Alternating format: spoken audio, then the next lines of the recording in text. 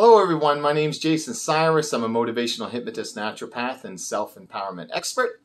To learn all my life changing tips and tricks, subscribe to my channel and hit the bell to be notified when I post new videos every Wednesday.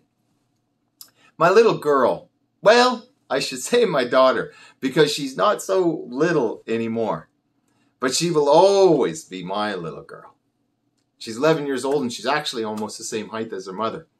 But she truly has the biggest heart and she loves to make people feel good. She is a master at giving people compliments. The other day we were in the store and when we went to the cash, the lady working, she had a warm, beautiful smile and you could tell she took the time to make sure that she looked good. Chloe, of course, immediately noticed this and she went to the lady. She said, You know what? She said, You are so pretty.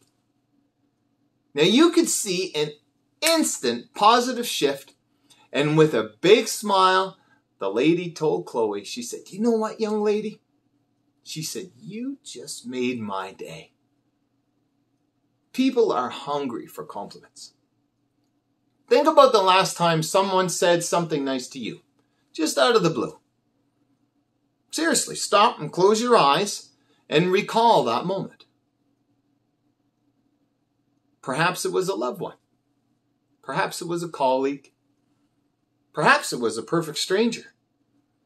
Regardless of who offered those kind words, it likely inspired some positive internal transformational shift in how you were conducting your day. Even if it was just a little bit. You were seen, you were heard, you were recognized, you were acknowledged. Somebody was paying attention to you and present you in that moment. It's a beautiful feeling. And it's one that we all have the capacity to inspire in others, just as we crave these random acts of kindness for ourselves. So why don't we do more of it? The easy answer? We're usually too caught up in the rush, rush of our lives, and with an understandable emphasis on self. The easy solution? Let's make a point to be more other centered, and vocalize compliments to those who inspire us, no matter how big or small that inspiration might be. And here's why it matters because you'll brighten someone's day. Pay more attention to those around you. And when something that someone does or says triggers a feeling of gratitude, speak that gratitude out loud. Let that person know that you appreciate them. Say it to your wife and your husband, your partner, your aunt, your uncle, your brother, sister, everyone. And please teach this to your children. Make sure your children compliment other children. It's so powerful. You turn it into a habit, and with a little bit of daily discipline, you extend one or two compliments each day, just to start and then you watch it snowball into something that eventually requires no discipline at all and may even become second nature. You, in turn, become more positive. It's easy to get lost in the autopilot nature of our own lives.